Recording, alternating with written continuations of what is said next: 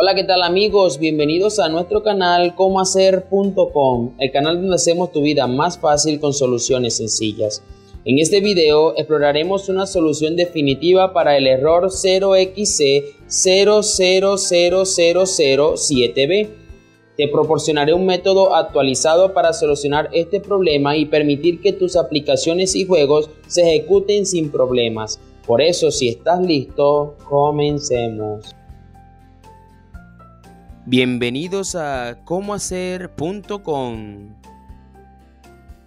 El error 0xC0000007B es un problema común que afecta a los sistemas de Windows y a muchas aplicaciones y juegos.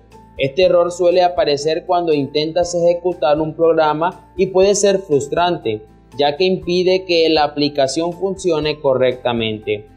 Algunas de las soluciones que puedes tener en cuenta para este error son las siguientes. Como pueden observar allí, eh, muestra el error que vamos a corregir, que es el error 0xC0000007B. Una de las soluciones que podemos ofrecer para esto es actualizar los controladores de nuestra tarjeta gráfica y DirectX. Debemos asegurarnos de que los controladores de la tarjeta gráfica estén actualizados a la última versión compatible con el sistema operativo. También debemos verificar que DirectX esté actualizado. Para eso podemos descargar los controladores en la página web del fabricante de la tarjeta gráfica y actualizarlo.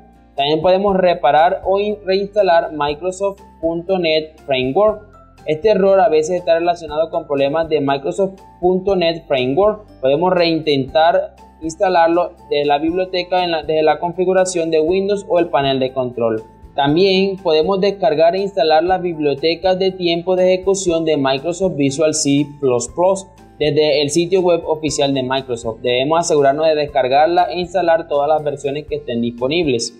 También podemos ejecutar la aplicación como administrador y verificar la compatibilidad del software. Debemos asegurarnos de que el software que estemos eh, intentando ejecutar sea compatible con la versión de Windows. Algunos programas y juegos más antiguos pueden no ser compatibles con las versiones más recientes de Windows. Después podemos reparar o reinstalar el software. Si el error persiste, intentemos reparar o reinstalar el software que se esté ejecutando o esté causando el problema. Debemos desinstalarlo primero y luego volverlo a instalar desde una fuente confiable.